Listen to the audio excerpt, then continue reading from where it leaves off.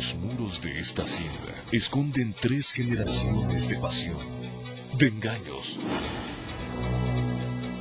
de desamor y de sangre derramada. Barrera de amor. Gran estreno lunes 10 de octubre 8.30 de la noche. Canal de las Estrellas.